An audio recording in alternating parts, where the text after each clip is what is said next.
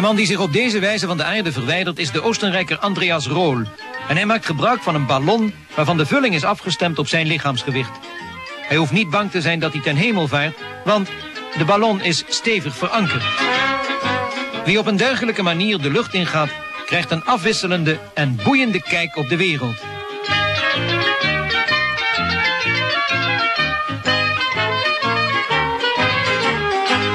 Waar ligt utopia?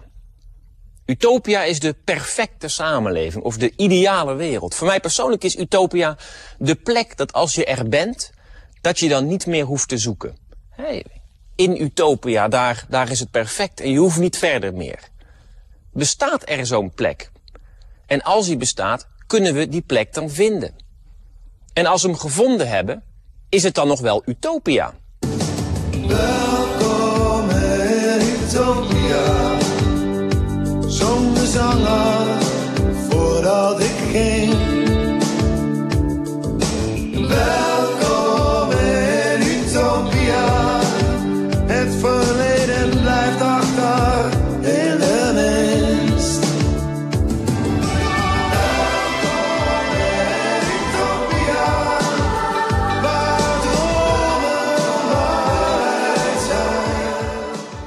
lijken soms werkelijk op zoek te zijn naar een soort van utopia. Een wereld die idealer is dan onze echte wereld. En dat zie je bijvoorbeeld in reclames. In reclames zie je prachtige, stressloze werelden waar mensen met hun hond over het strand rennen en iedereen is zo tevreden en gelukkig. Maar de mooiste metafoor voor utopia vind ik het land der laven in de Efteling. Moet je ze toch eens zien zitten? Die laven zijn tevreden en voelen zich fijn. En die zitten daar een beetje te keuvelen in hun leventje en iedereen is gelukkig. Het land der laven is voor mij een utopia omdat iedereen in het land der laven tevreden is en niets meer hoeft. Een tijdje geleden viel mijn oog op dit bericht in de Telegraaf. Topjurist kiest voor leven als bedelmonnik. Meneer Moors, welkom. Wat bezielt een topjurist met een bovenmodaal inkomen? Om alles te verkopen. Je hebt je huis verkocht, je spullen, je kleren, je boeken, alles. Om op een houtje te gaan zitten bijten in een Thais klooster. Ik denk, en ik weet het wel zeker, dat ik hoop daar gelukkiger te worden. En dat ik denk dat het ook gelukkiger kan worden. Ik ben er drie weken geweest, ik heb dat ook ervaren. Ja. Eh, omdat ik daar ook door zelf tot rust, tot stilte te komen, ook kan openstaan voor iedere mens die je echt ontmoet op dat moment. En dat je eigenlijk tevreden kan zijn met het moment van het waarin je nu leeft. Maar ben je nu ongelukkig? dan? Nee, ik ben niet ongelukkig, ik ben wel tevreden. Maar, maar tevreden betekent zoals bij iedere mens dat het met ups en downs gaat. En als je zegt bij- met geluk, dus dan heb je ook ongeluk. Maar eigenlijk moet, kun je beter spreken van een soort gelijkmoedigheid. Gelijkmoedigheid. Geweldig woord. En het woord past bij het beeld dat ik heb van utopia. Hè, Een soort van rust en tevredenheid zonder de neiging tot verandering. Tevredenheid heeft ook een hele positieve connotatie in tegenstelling tot ontevredenheid. Maar rust en tevredenheid betekent ook stilstand. En de vraag rijst hoe lang het leuk blijft om stil te staan en tevreden te zijn. En die vraag rijst helemaal wanneer jij stilstaat. Wanneer je omgeving, de buren bijvoorbeeld, zich wel blijven ontwikkelen.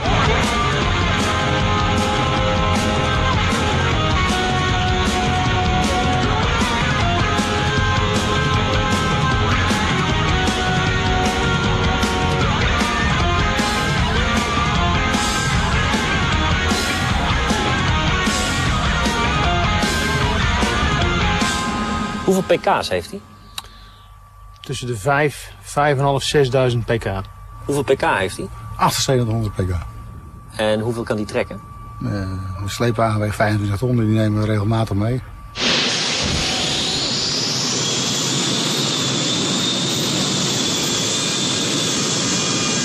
Hoeveel kilo kan die trekken? Nou, normaal hebben we een sleepwagen van een kleine 20 ton. 12 seconden over de 100 meter.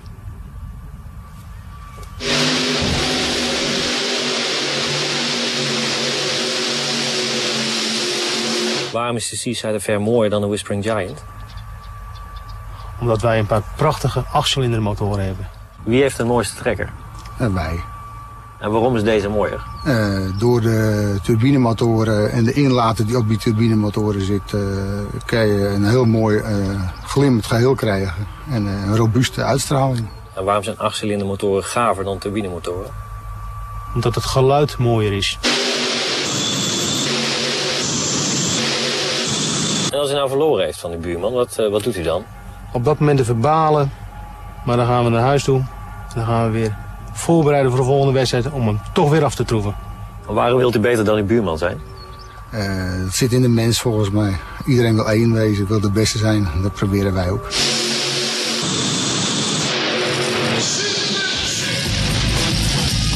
Denk je dat je er bent? Dat je de ideale tractor hebt? Heeft de buurman op een gegeven moment nog een gavere tractor? Met meer chroom of die harder trekt? En dan word je ontevreden. En blijkbaar was die ideale tractor toch niet de ideale tractor. En zo zit het ook met Utopia. Stel je voor dat Nederland op een gegeven moment Utopia is. Eh, iedereen is hier in Nederland gelukkig. We leven gezond en heel erg lang. Eh, we worden wel 100 jaar oud. Klinkt als Utopia. Totdat alle mensen in Duitsland 200 jaar oud worden. Dan voelt Utopia in één keer niet meer als Utopia. Of stel je voor dat je in zo'n dorpje woont als in het land der laven. Je bent gelukkig, je hebt je huisje, je volkstuin en je bent tevreden. En er is één iemand die niet tevreden is. Die wil een groter huis. En het grotere huis, dat gaat hij bouwen. Dan word jij ook ontevreden, want je ziet het grote huis. Ik van, hmm, dat wil ik ook wel. Er is maar één iemand nodig die ontevreden is om alle tevredenheid van de mensen zeg maar, te verstoren. Utopia kan misschien wel bestaan, maar er is maar dit nodig om de tevredenheid van Utopia te veranderen in ontevredenheid. En de ontevredenheid die heel makkelijk de kop opsteekt, die lijkt op de figuurlijke ontevredenheid van bomen. Bomen zijn ook nooit tevreden. Die willen altijd meer en die blijven maar groeien. Wat is dit voor boom? Dit is een lindenboom. Dit zijn Italiaanse populieren. Dit is een Amerikaanse eik. En hoe hoog kunnen lindenbomen worden gemiddeld? Nou, in Nederland eh, zijn, zijn ze maximaal eigenlijk 35 meter. Deze Amerikaanse eik die kan denk ik ook zo'n 30, 35 meter hoog worden.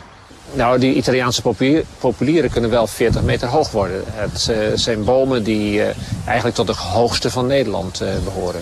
Waarom zouden bomen zo hoog groeien? Het is niet dat het niks kost. Het kost een boom verschrikkelijk veel energie om zo'n stam van soms wel 30, 40 meter, ja, om die omhoog te bouwen. En op die stam is nog een keer een hele zware kruin met bladeren. En als je het allemaal hebt, dan moet je het water wat je daar bovenaan nodig hebt, dat moet je helemaal opzuigen uit de grond, helemaal naar boven toe. Dat is nogal een hele klus. Waarom zou zo'n boom dat doen? Daar staat er eentje een beetje tussen twee grote bomen in. Wat is daar aan de hand? Ja, dat is een eh, bruine beuk die tussen eh, twee Amerikaanse eiken staat. En eh, die bruine beuk wordt een beetje ingedrukt. En het is dus nodig om die twee Amerikaanse eiken eigenlijk wat terug te snoeien. Zodat die bruine beuk verder kan uitgroeien. Want die eiken groeien een beetje te hard voor de beuk. Ja, de, de, die beuk is waarschijnlijk later geplant. En eh, d- daardoor zijn, staat hij op achterstand. Dus moeten we een beetje helpen. We moeten een beetje helpen, ja, precies. Bomen groeien zo hoog omdat ze zonlicht nodig hebben. Maar daar hoef je geen 20, 30 meter hoog voor te worden. Zo hoog is op zich hoog genoeg om de zon te kunnen vangen. Maar ja, bomen staan vaak in een bos en worden omringd door andere bomen. En mocht er een boom zijn die toevallig wat hoger is, dan werpt hij een schaduw op de andere bomen. En de andere bomen kunnen dan maar één ding doen, ook wat hoger groeien om van die schaduw af te komen. En zo ontstaat er een competitie tussen de bomen, want alleen de allerhoogste bomen, die kunnen zonlicht ontvangen. Dat geldt overigens ook voor bomen die in een eentje in het veld staan, want bomen weten natuurlijk niet of ze in een eentje in het veld staan of in een bos. Maar bomen leven niet in utopia. Omdat er continu een sprake is van een soort van onrust in bomen. Ze moeten blijven groeien. En het is niet omdat het zo leuk is voor die bomen, maar omdat het niet anders kan. Eh, wat is dit voor boom? Dit is een bruine beuk. En eh, hoe snel groeit deze per jaar? Deze groeit denk ik eh, zo'n 12, 15 centimeter per jaar. En hoe hoog is die? Deze boom is wel eh, 30 meter. En hoe hoog kan die nog worden? Nou, ik denk dat hij nog een 5 meter erbij groeit. En dan houdt het op. Wat gebeurt er dan? Dan groeit hij wel in de breedte, maar hij groeit niet meer in de hoogte. Het is helemaal niet leuk voor bomen om zo hoog te moeten groeien, maar ja, ze kunnen niet anders. Wat nou als bomen met elkaar hadden kunnen praten? Hadden ze kunnen overleggen met elkaar en hadden ze kunnen zeggen van jongens, allemaal zo hoog, geen eentje die hoger wordt. Dan hadden ze wat meer rust gehad, wat meer tevredenheid en hadden ze niet als idioten tegen elkaar op hoeven bo- boksen. Dan was er meer sprake van een soort van utopia. Maar er moeten wel een aantal voorwaarden gelden, wil dit beeld een beetje kloppen. In de eerste plaats moeten al die bomen precies even lang zijn. Ze moeten allemaal dezelfde bomen zijn. Anders is er verschil en weer ontevredenheid. En bovendien is het zo dat wanneer een van die bomen stiekem toch een beetje hoger groeit dan de andere, ja, dan moet die meteen afgetopt worden. Want dat verschil kunnen we niet hebben, want ja, dan krijgen we weer die ontevredenheid. Nou, dit beeld lijkt verdomd veel op de utopie van het communisme. De 1 mei gaf in Moskou weer het beeld van de laatste paar jaar te zien. Een parade van burgers langs de leiders van het land... die deze optocht op het Rode Plein van de tribune boven het Lenin-mausoleum gadesloegen. Hoe ziet uw ideale wereld eruit? Ja, mijn ideale wereld, en dat is ook ons ideale wereld, dat is het streven naar het communisme. En de eerste stap is dan eh, socialisme, dat is de eerste stap. En dat dat uiteindelijk zal voortvloeien in een communistische staat. Nou, waar iedereen naar tevredenheid kan leven, gelijkheid voor iedereen. Nou, en dan is er een gelukkige samenleving voor elk. En dat is voor mij eh, nou, de doelstelling. Geen militair vertoon zoals vroeger vaak het geval was. Alleen vrolijke mensen. Op de in de Sovjet-Unie altijd vrije dag van de arbeid. En als ik dan zie het tegenovergestelde in een kapitalistische maatschappij, daar is ook eh, nou, een enorme vooruitgang in de ontwikkeling, zeg maar. De automatisering, nou dat is geweldig wat, wat er gebeurt. Maar eh, daar profiteren alleen maar een bepaalde groep van. Zie maar wat er gebeurde eh, door een ontwikkeling zeg maar, voor de automatisering. Maar dat kost weer een aantal mensen hun baan. En die lopen werkloos rond. En de ander die kan op vakantie gaan. En zij zien met leden aan dat dat voor hun over is. Nou, en dat is het verschil in die staat waar wij naar streven. Dat dat niet gebeurt. Urenlang duurde het défilé, waaraan door ongeveer 1 miljoen mensen werd deelgenomen. Gelijkheid, rust, minder ontwikkeling. Dat past allemaal bij het utopia van de communisten. Het ideaalbeeld van het communisme. Maar er is wel een keerzijde. En dat is dat de tevredenheid heel erg afhankelijk is van de gelijkheid. Ongelijkheid geeft ook ontevredenheid. En die gelijkheid die moet afgedwongen worden. Hè, zij die zich onderscheiden en anders zijn, ongelijk zijn, hè, die moeten op de een of andere manier onderdrukt worden. Want iedereen moet gelijk zijn, anders stort het in. Het kan haast niet anders dan dat dat communistische utopia, dat er sprake is van repressie. En dan noem ik het geen utopia meer. Bovendien is het zo dat er weliswaar rust en minder ontwikkeling is in dat communistische utopia, maar niet in de rest van de wereld. Dus die mensen in dat utopia, die kunnen met hun verrekijkers over de rand kijken en dan worden ze plotsklaps weer ontevreden. Dus toch geen oplossing wat mij betreft. Toch is het zo dat, grappig genoeg, het niet eens zo lang geleden is dat in Nederland geprobeerd is om een utopia te maken. Niet echt op basis van gelijkheid, maar wel op basis van gelijkvormigheid.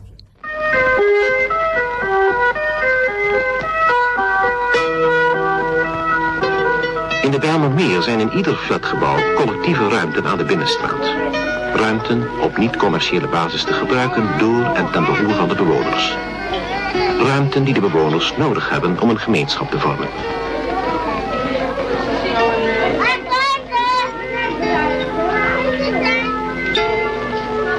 Dus er was een, het geloof in maakbaarheid van de wereld van de steden. En ze meenden dat je alles, als je maar hard genoeg cijferde en studeerde, dat je dat zou kunnen, dat dat zou leiden tot een goede stad. Dus als er maar voldoende vierkante meter groen per inwoner, dat werd serieus berekend. En eh, zoveel uren zon op je balkon en eh, zoveel vierkante meter bergruimte en keuken enzovoort, dat dat dan vanzelf tot die ideale stad zou leiden. Waarbij de bedoeling is dat mensen eh, gelijk zijn. Dus een, een in principe heel goed, mooi uitgangspunt. Dan vertaalden zij dat gelijke kansen dan ook echt gelijk. En niet de een ietsje mooier dan de ander. Want daardoor ontstaat de, het slechte in de wereld. Amsterdam Bijlmermeer. Stad in hoog- en laagbouw. Woning. Stad gebouwd voor de toekomst. Vreemd genoeg dacht een aantal stedenbouwkundigen in de jaren 60, 70 werkelijk een soort van utopia te bouwen in de Bijlmermeer. Maar ja, mijn utopia is het niet. En de meeste werelden die van tevoren op papier bedacht en ontworpen worden, die blijken uiteindelijk verre van ideaal. Blijkbaar kunnen we dat niet zo goed, utopia's ontwerpen.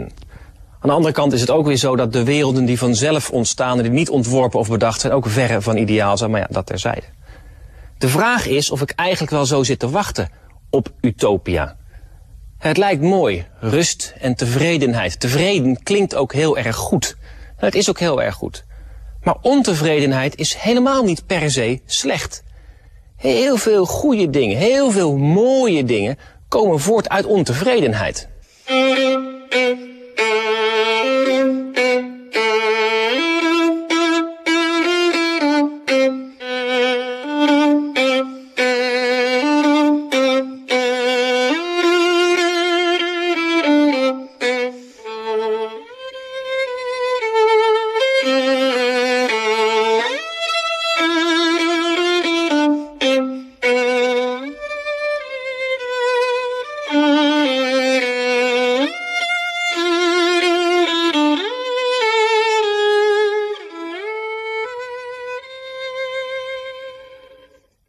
Kunst komt voort uit een soort van ontevredenheid.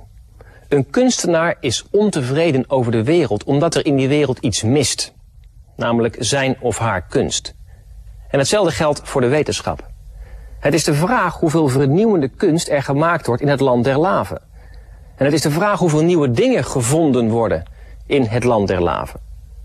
Het zou best kunnen dat utopia kan bestaan. Het utopia dat ik gedefinieerd heb als de plek waar rust en tevredenheid heerst. En als je er bent, hoef je niet verder meer te zoeken.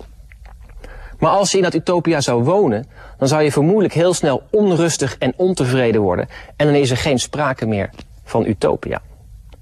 Misschien bestaat het idee van utopia wel, of van het land der laven, of van een of ander ideaalbeeld uit reclames of zo, om ons gemoed een beetje te sussen. En koesteren we dat idee, zoals sommige mensen hun idool koesteren door een poster aan de muur te hangen. Onbereikbaar. Misschien denken we dat we kunnen ontsnappen aan de rat race en dat we rust en tevredenheid kunnen vinden.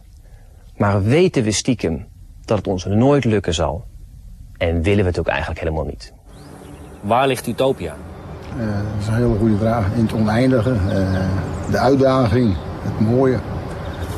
Voor de sport is dat eh, de uitdaging om het eh, steeds beter te doen. Ik zal u eens een stuk voorlezen. Dat is van Brecht. Laat ons het duizendmaal gezegde telkens opnieuw zeggen, omdat het niet één keer te weinig gezegd werd. Laat onze waarschuwing vernieuwen, ook al zijn ze in onze mond al tot as geworden. Want de mensheid wordt door oorlogen bedreigd, waartegen de voorbije oorlogen armzalige experimenten lijken. En ze zullen zonder enige twijfel komen, al we de handen niet breken van hen die ze heel open aan het voorbereiden zijn. Kijk, en als we daarin slagen, dan leven in een gelukkige maatschappij. Ik denk dat utopia onbereikbaar is. Er is geen grens. Waar ligt utopia? Het is eh, voor mij een soort abstract beeld. eh, wat eh, eh, ja, eigenlijk in de, in de hoofden van mensen zit.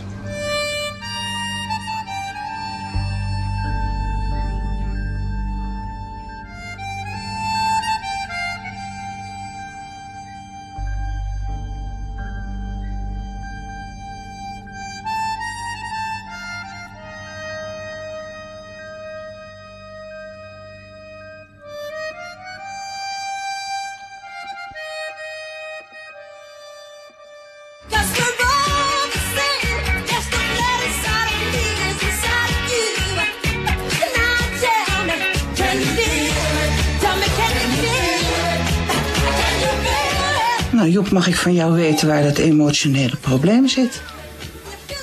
Ze pakten een mes en op dat moment sloegen bij mij de stoppen door. steken we met een mes in, eh, in de halsslagader. En eh, waardoor ik dat mes heb overgenomen en eh, mijn vrouw met een aantal steken heeft verwond en waaronder een slagadelijke bloeding in de nek. Als je uitgebloed is, komt je in de broeiketel. En een van haar laatste woorden waren ook van Jan, ik heb dit niet zo bedoeld. En toen het in het water raakte, is die hier achter de vleugel afgebroken. En het stukje waar ik in zat, die staart. Hier even blijven drijven. Stel je nou voor, Joep, dat je dus dat verdriet over het missen van de ribbel, dat je dat loslaat. Ik weet dat als ik nu zou weten dat ik over als ik een uur zou sterven, ja, ik in zekere zin met verlangen zou uitzien naar die ontmoeting met God. Wat is dit? Dit is de platte auto. Dit is de auto met zo min mogelijk luchtweerstand. Maar hij is wel vierkant eh, plat eh, van voren. Ja, dat klopt. Maar hij is wel afgeschuind, zodat de lucht die hij opzij drukt meteen weer langs de auto geleid wordt. En dan, als dat gebeurt, heb je een aerodynamische auto. En daar heb je wat aan. Ja, dan kom je nog eens ergens. Hij voelt zich opgelucht. Opgelucht, bevrijd van het stuk verdriet wat er zat. Wat is de zin van het leven?